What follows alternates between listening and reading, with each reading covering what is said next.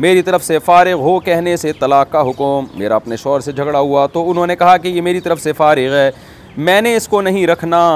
इसके वालदेन को बुलाओ और इसको भेजो। एक दफ़ा उन्होंने मुझे ये डायरेक्ट कहा और एक दफ़ा दूसरे कमरे में अपने भाइयों को कहा, भी सूरत में क्या हुक्म होगा? ये बड़ा, देखें, ये मेरी तरफ़ से फ़ारग है, मैंने इसको नहीं रखना।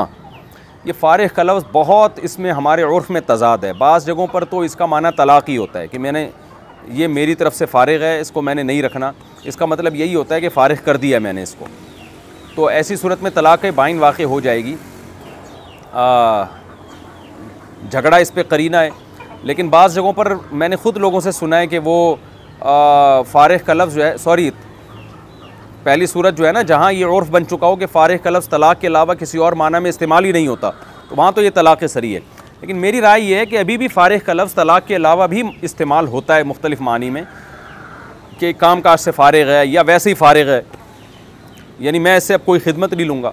तो मैंने जो उर्फ़ को जांचने की और समझने की कोशिश की है ना, उसमें यही है कि फ़ारग का लफ्ज़ अभी भी यकीनी तौर पर तलाक़ के माना में इस्तेमाल नहीं होता। लिहाजा आपके शोहर ने अगर ये कहा है ना कि ये मेरी तरफ़ से फ़ारग है, मैंने इसको नहीं रखना तो शोहर से पूछा जाए कि भाई आपने ये अल्फाज किस नीयत से कहे थे? अगर शोहर ने तलाक़ की नीयत से कहे थे कि मेरी तरफ़ से फ़ारग है, यानी निका मैंने ख़त्म कर दिया तो फिर तो एक तलाक़ बाइन वाक़ होगी। तलाक़ एक होगी, लेकिन निका टूट गया। दोबारा से निका करना पड़ेगा। और अगर ये नीयत नहीं थी तो फिर तलाक़ वाक़ नहीं होगी। ये मेरी राय है, लेकिन इस बारे में दूसरे से भी रुजू कर लिया जाए।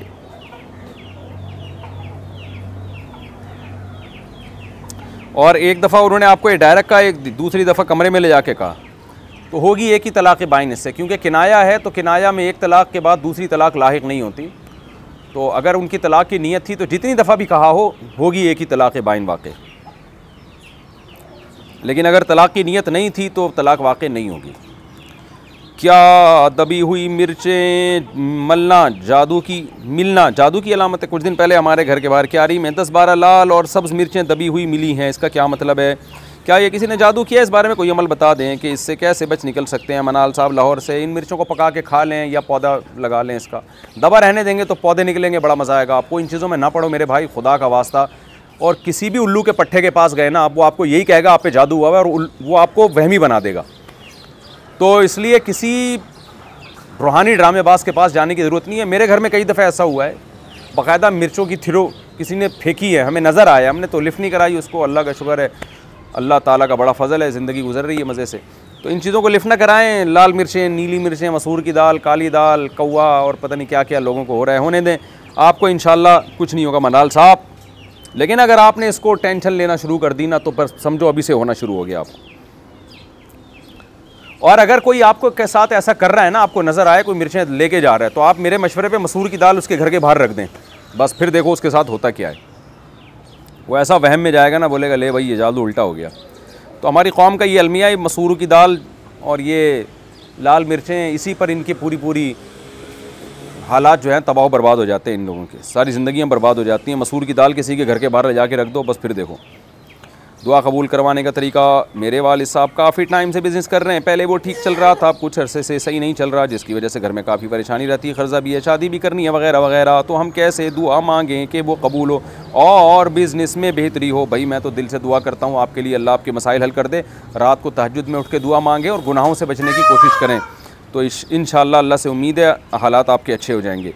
अकेली लड़की का लड़कों के साथ पढ़ना कैसा है? मैं सिविल इंजीनियरिंग में मास्टर करना चाहती हूँ। मैं जब इंट्री टेस्ट देने गई तो मुझे अंदाज़ा हुआ कि वहाँ मेरे अलावा कोई लड़की एडमिशन लेने नहीं आई है तो क्या मुझे इस क्लास में एडमिशन नहीं लेना चाहिए, नहीं लेना चाहिए? जहाँ मेरे अलावा सब के सब लड़के हों, बिनते अब्दुल्ला बलूचिस्तान से। बिनते अब्दुल्ला साहिबा आप वैसे भी बलूचिस्तान में हैं, वहाँ तो बड़े गैरतमंद किस्म के लोग बलूचिस्तान में रहते हैं। ये तो गैरत के भी ख़िलाफ़ है कि सारे लड़कों में बैठ के आप अकेली पढ़ेंगी। शर्म हया का भी तकाजा है कि आप ऐसा ना करें।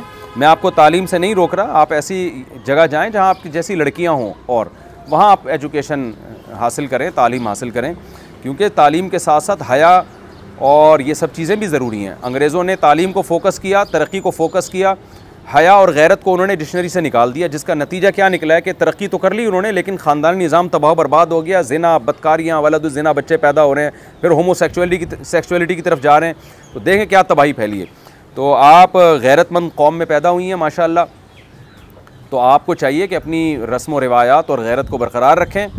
ये के पी के, बलोचिस्तान, ये दोनों तो बड़े ऐसे इलाके हैं जहाँ बड़ी मेहमान नवाजियाँ हैं और जो है बड़ी गैरत है तो इसको बाकी रखना चाहिए। इसलिए मैं आपको मशवरा दूँगा, आप ऐसा ना करें।